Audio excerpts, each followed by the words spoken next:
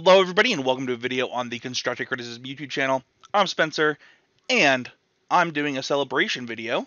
Um, it's going to be really different, but I just wanted to celebrate. We get 1,500 subscribers um, and it's something that I'm really proud of. You know, I've spent a lot of time trying to figure out a way to mix podcasting content with, with YouTube content and I'm I I'm really proud of what we've achieved and you know the gameplay videos and the, the, all the podcasts and things like that that have changed here. And just everybody that's involved in the network is it's really cool. You know this this YouTube channel is actually what pays for those podcasts to have hosting, and so it's it's really cool to be able to support podcasters with free hosting and with software to help them do the things that they uh, want to do uh, to make great content. And you know it it it's really exciting to me to have this support. And so today we're going to do something really, really different. Um, you know, if all you wanted to see is hear me say thank you because it means the world to me, you leave now. But what we're going to do today is I'm actually just going to brew. And so the, the, rest of this video will probably be edited into whichever deck I decide that I like the most, or the deck that I think is the most interesting, that I spend the most time on. Um, but I'm just going to brew decks, and then I'm going to edit the video and kind of see where we end up.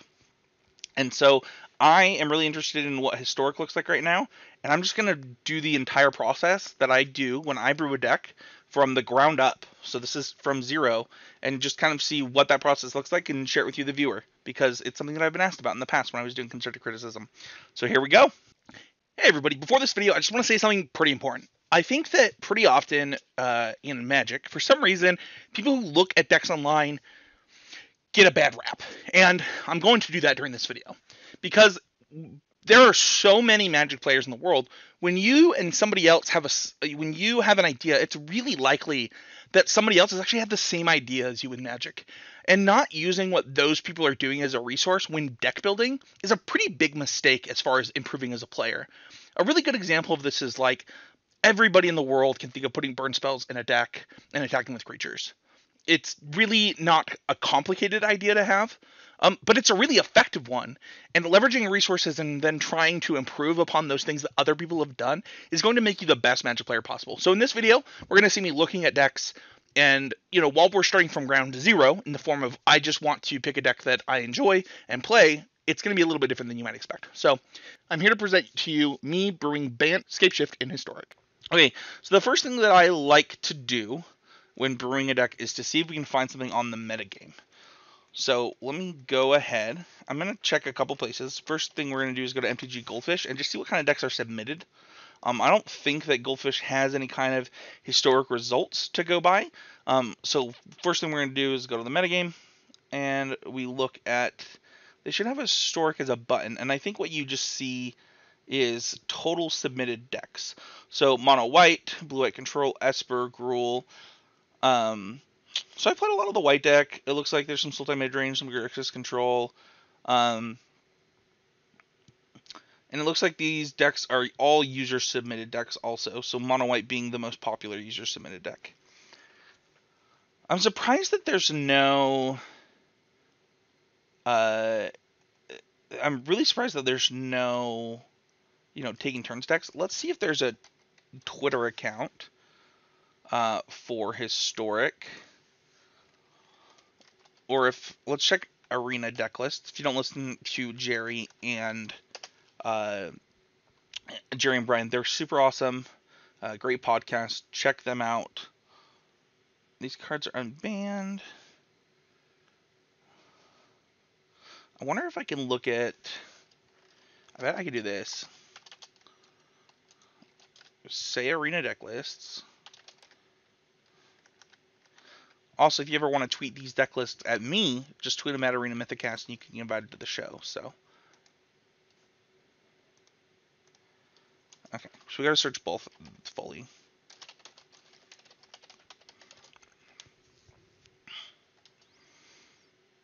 Uh, arena deck lists.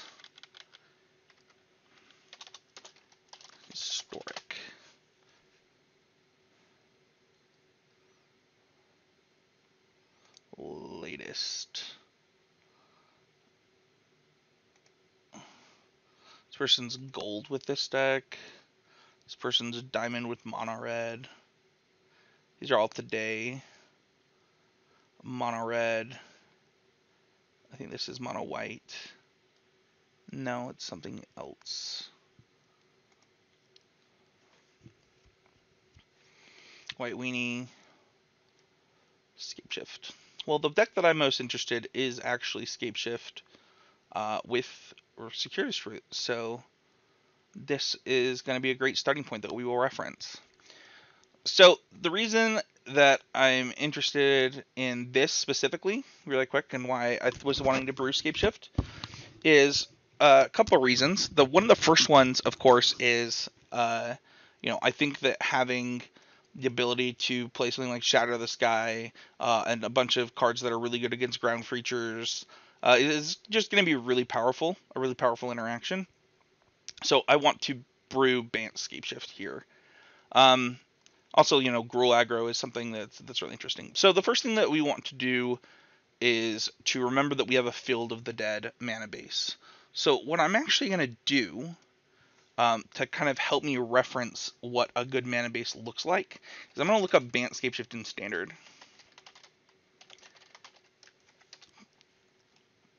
So it's not that I couldn't build a mana base from scratch, it's just that this makes it a lot easier to uh, kind of look at where a reasonable mana base ended up. And we see Bant Golos.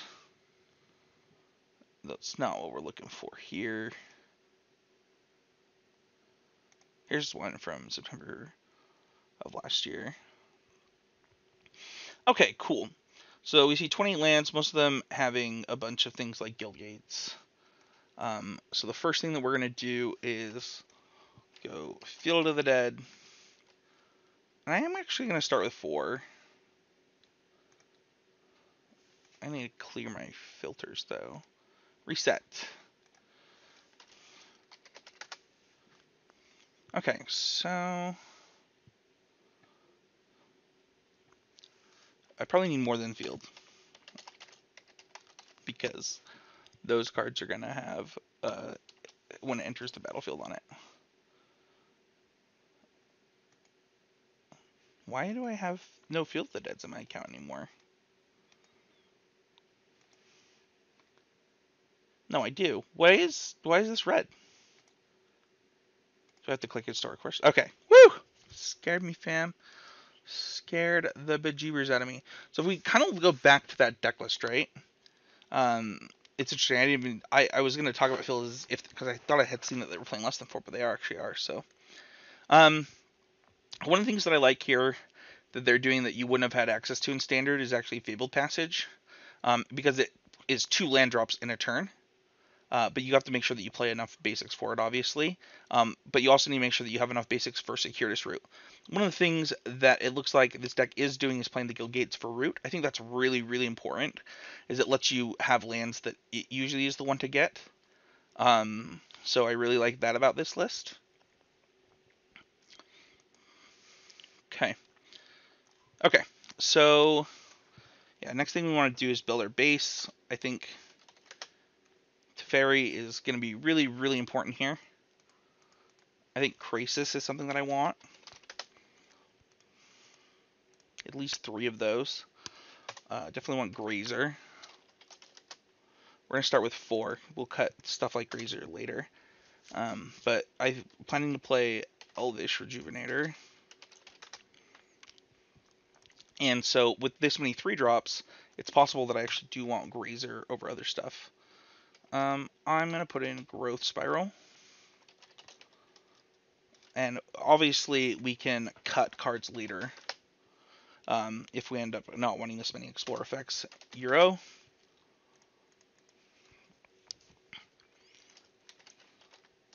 Escape shift. And then let's just look at destroy all creatures. Okay, so options are uh, Time Wipe, Realm-Cloaked Giant, uh, probably don't want Planar Cleansing. Um, cleansing Nova is not, I don't know that we want that either. So we have the option of Shatter the Sky. It's just kind of a clean 4 mana 1. And uh, Time Wipe is another one that we might want to consider. I'm actually going to start with 3 Shatter, 1 Time Wipe. Okay, so we're already at 53 cards. Um, I'm going to build our mana base because I don't think we're playing enough lands yet. So I'm going to turn off the... So I'm going to turn off suggested lands. And let's fix our... Let's go to something prettier here. So we know we're going to want two plains, and we know we're going to want at least two forests. So if we're, depending on how many basics we play, we need to start off with this as a one of, this is a two of, and then forest, forest. Hmm, do we want that one though? No, we'll go here. All right, the other thing that we know that we're going to want probably is Breeding Pool and Temple Garden. I'm going to start off with two of each. Um, do we want Castle Garenbrig? That's an interesting question. It is a land that can... Uh, oh, wait, we don't have enough force, though. It is a, a different named land, so I kind of like that. Uh, Sunpetal Grove, Hinterland Harbor. Let's get the gates in there. What art do I want here? This is important. You have to care about your art when you're when you're making something yourself. You should care about that kind of stuff. Or if you don't care, don't care. It doesn't it doesn't really matter. I'm just saying I care. Okay, so we are at 20 lands without Fable Passage. And I think without Field of Ruin.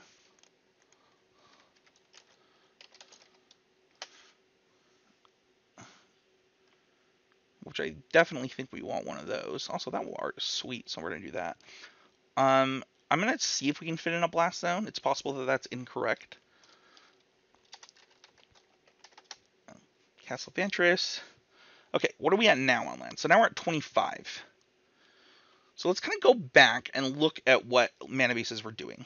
So we see temples and gain life lands. So we still need to add Fable Passage. Oh, no, we don't. We don't need add Fable Passage. I wish I could see that. This deck's going to be hard to look at lands for. We could just move like this while we brew, though. Actually, might work. Okay. So, I want... I want... I'm thinking of deciding if I want another island. Um, Let's look at the mana base of this list that went on that 12-2 run. It is playing one temple there, one temple there. Are we just going to end up on the same mana base? Should I have just looked at this? Yeah, we are. We're actually going to end up probably on the exact same mana base. See? Net decking happens for a reason. it makes things faster. We don't need three plains, though. So temple, just do one of each to start with. And that puts us at 27 lands. I want more lands than that for sure. So that means that we have a spot. That means that this person is also probably only playing 27 lands. No, actually, I see that the difference is, is that they're playing a Glacial Fortress, which actually makes sense for having the best mana possible. There's a lot of tap potential tap lands. All right, so now that we have our mana base complete, I'm going to switch back to here. Um, we don't need to look at that again for a while. So now I kind of just want to look at things that are options here. Um, I already know for sure that I don't want this many explore effects. Uh, so we can assume that some of those are going to get cut. And I just want to like kind of think about my deck. Like, what is it trying to do here? So obviously, I'm pretty happy with Teferi plus this stuff. Now the question becomes, do I need other stuff? We know Gruul's a deck in this format. We know Mono Red's a deck in this format. Like, do I need more stuff that gains life, for example? Uh, do I need is something like Tamiyo something that I would want? I'm gonna I'm gonna put a Tamiyo in there. Uh, you know, Nissa is something that I could consider. It's possible that I just actually want more Hydroid Krasis. It's also possible that, you know, this deck is better uh, as a five color deck and playing something else. Uh, you know, like a like Golos. Is that something to consider? Because it doesn't have to be banned. It doesn't have to be this mana base. Um, but that being said, I think Scapeshift just on its own might be better. So we'll keep it at that. How did the deck gain so much life in standard? I'm trying to remember.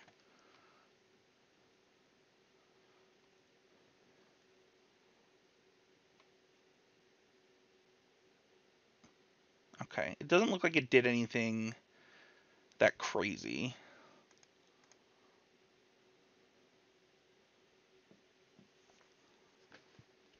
So we we have we have Krasis and Uro.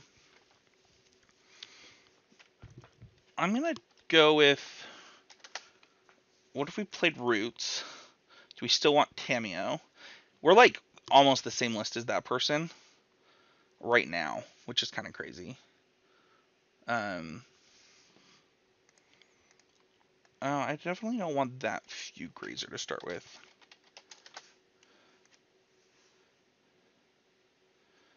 I like Tamiyo. Do I want the fourth Scapeshift? I don't think I want the fourth Scapeshift. Is there other things that I could do to interact? Is now the question. But even if there is, do I do I even want them in the main deck?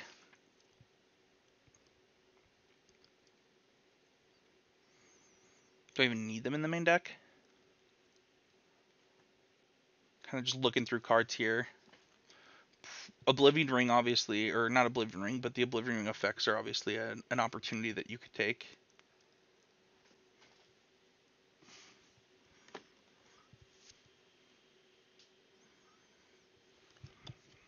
Obviously, I'm going to want gusts in the board. Let's just put them there to think about that.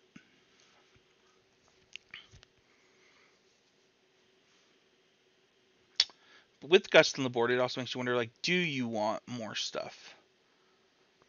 And to me, like, to me, like, I want something to spend my mana on, like stuff like this.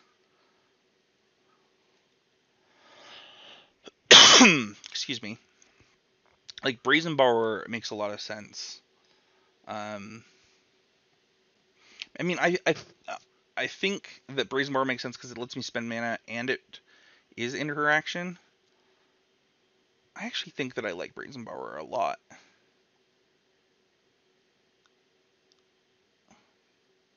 The Tamiyo might be greedy, and the Brazen Borrowers might be great. Like, I don't need Tamiyo. Okay, let's try that.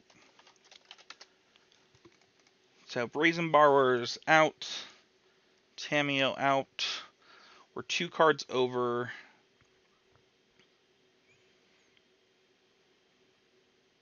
Might be a terrible time wipe deck.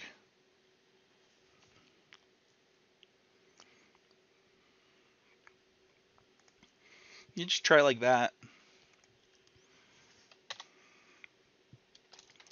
Okay, next thing that we want is vetoes. Let's put a couple in there. I like Dispute because people play mono blue in this format. Um, the question is, uh, do we want like things to pressure our opponents now? So like Lovestruck Beast is something that could be really really helpful for this deck because it's a one mana spell that can preserve your life total. I actually really love Lovestruck Beast. We're actually gonna put three in there to start. Um, now we need to make sure that we have enough stuff for Embercleave. So we have three gusts and two borrowers. That's that's some amount of stuff. Um, what did we say was the mono white is another one that we need to think about. So what does Giant Killer do? It's destroy target creature with power four greater or that tapping ability. That does not seem good in this deck. Alright, so how does mono white win? It wins with a large creature or a lot of creatures. Let's put these in here. I might want those. I mean, we could play. We could play the. Oh no, no, that's the red one that does that's anti-white, isn't it? What is the anti-white spells? It's black and red are the enemies of white, right? So there's no way that I have one. Yeah, because it's. What is the black one? I don't remember. And Veil of Summer's banned, so we can't play that. Pretty sure Veil of Summer's banned. Yeah, it's banned. Banned. It's the bandist.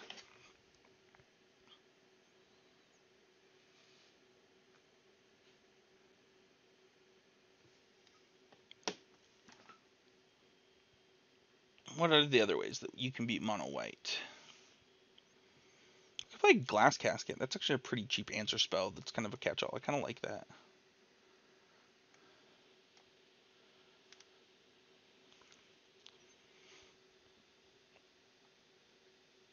Do we need something like a planeswalker in the board? What would we want a planeswalker in the board for? We could, I mean, that Tamiyo could actually go on the board. That way, if we play against like, uh, yeah, I like Tamiyo against like the black decks that aren't aggressive, and against Thought Erasure decks usually. So another thing that we need to think about is like, do we have enough stuff with it for Fires of Invention decks? And so the question becomes, uh, I mean, what's the green one mana spell called? Isn't there a new green one mana like enchantment? Oh yeah, here it is, Mystical Repeal. Yeah, let's try that out. But you know what we could have in this deck instead, actually, of that? What's the, uh...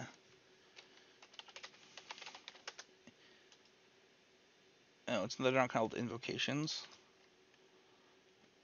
Oh, interventions.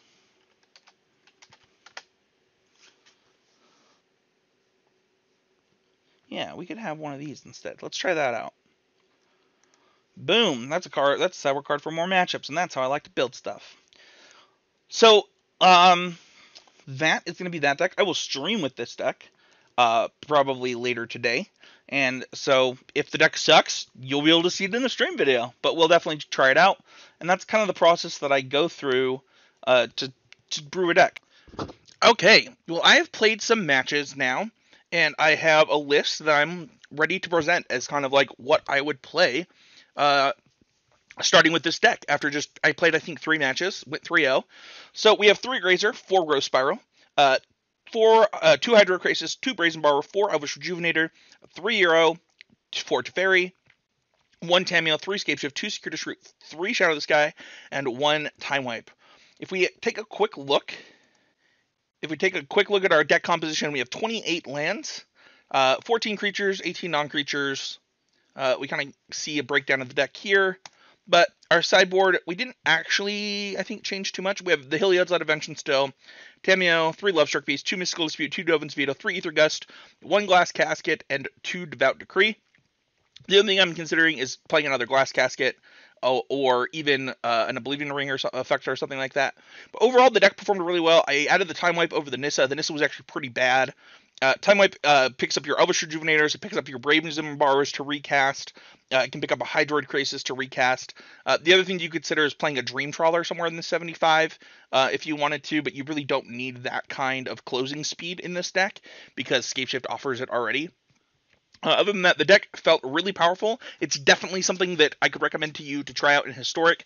Um, yeah, so thank you everybody so much for watching this video. Thank you so much for 1,500 people that have subscribed. If you could hit that like button, you could hit the subscribe button. It would mean the world to me. Uh, and yeah, I plan to be streaming with this deck, so don't forget to check out the stream. And thank you everybody uh, for being a part of the Constructed Criticism family.